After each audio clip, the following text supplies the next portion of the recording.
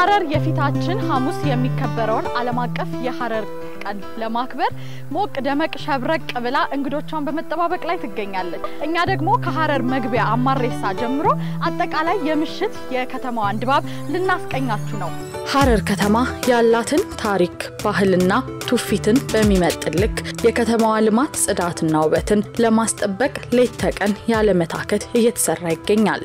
ከክልሉ መግቢያ ሀማሬሳ ጀምሮ ከተማዋን በቀንም በምሽትም ለእይታ ማራኪ ለእንቅስቃሴ አመቺና ሰላማዊነቷ ማዝለቅ ላይ ደግሞ ሰላም አስከባሪውና ሕዝቦቿ እጅና ጓንት ሆነው በአንድነት ቆመዋል። በከተማዋ የተለያዩ ስፍራዎች ሰዎች አረፍ እያሉ የምሽቱን አየር ሲያጣጥሙም ተመልክተናል። የሐረርን የምሽት ድባብ ከመግቢያው ሀማሬሳ ጀምረን የጥንታዊቷና ታሪካዊቷ የሐረር ከተማ የጀጎል ግንብ መግቢያ በር ላይ ሐረር በር ዱክ ጋር ደርሰናል። እንግዲህ የከተማዋ የጽዳት የውበትና የሽብርቅ ስራዎች ከተሰሩባቸው ዋና አካባቢዎች መካከል የጀጎል የውስጥ ለውስጥ መንገድ ተጠቃሽ ነው።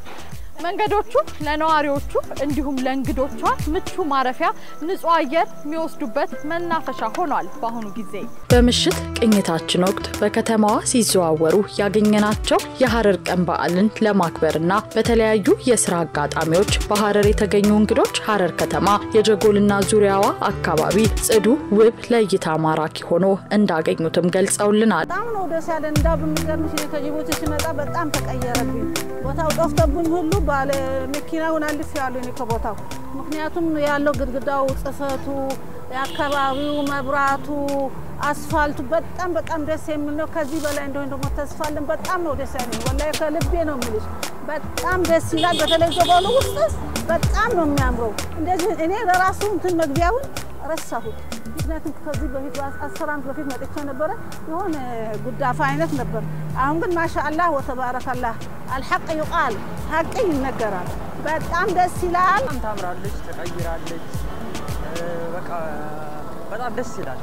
ከ1971 ጀምሮ ነው ወደ አዲስ አበባ የሄድኩት።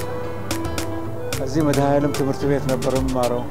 ከፈረስ መጋላ 45 ሰከንድ መንገድ ነው። በጣም ምን ብዬ ልግለጸው? ማሻአላህ ነው። በቃ ቦስ በጣም ደስ የሚል ነው። በጣም በሚያምር ሁኔታ ነው። ሀገር ሐረር የፍቅር ሀገር ነች። በጣም ውብ ሆናለች። ጀጎልም ከተማዎቹም በጣም አምረዋል። የእንግዳ አቀባበልም በጣም በሚያምር ሁኔታ ነው።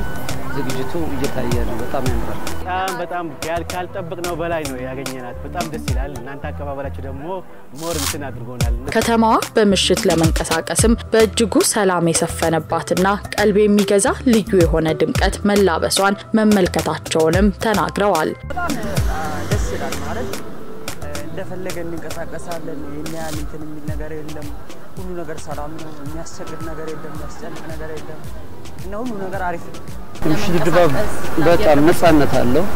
በነጻነት እኛ ራሱ ወክ አሁን ወክ እያደረኩ ነው ያገኛችሁ። በጣም ደስ ይላል ድባቡ፣ light ኡ፣ ምኑ መንገዱ ደስ በሚል ሁኔታ በነጻነት እየዘጋው እንግዶችን እያየ ሰሩ ያሉ የልማት የጽዳት የውበትና የሽብርቅርቅ ስራዎች ታሪካዊቷን ዝነኛዋን ሐረርን የምሽት ድባቡን ግርማዊ ሞገስን ጨምሮለታል።